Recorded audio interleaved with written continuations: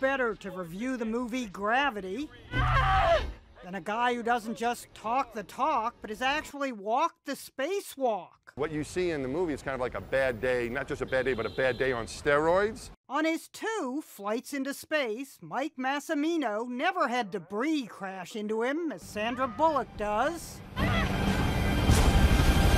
Instead of being flung into space, can't breathe. Mike's spacewalks were like a slow dance. Uh, you still have me, hopefully? I got you. Not a body slam, but when it comes to realism, I was really excited when I saw the accuracy of my telescope and payload bay and tools. I was like, this, I wasn't really looking at Sandra Bullock at all, sorry. I recognized my wire cutter. what Mike did not recognize was Sandra's heavy breathing. You're burning oxygen.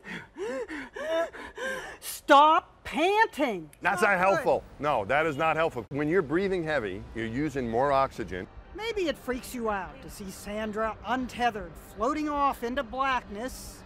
Anybody, please copy. Yeah, and I didn't like that idea either. Astrophysicist Neil deGrasse Tyson nitpicked via Twitter, noting that nearly all satellites orbit Earth west to east, not east to west, as in the film.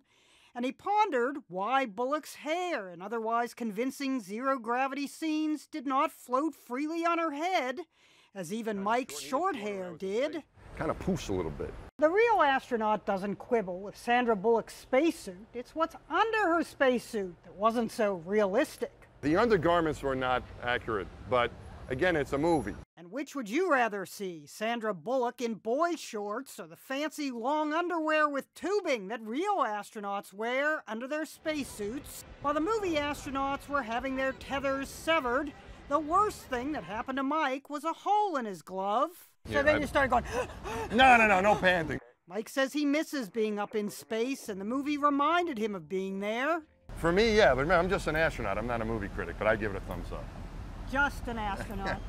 an astronaut more worried about holes in his glove than holes in the plot, Jeanne Moos CNN, New York.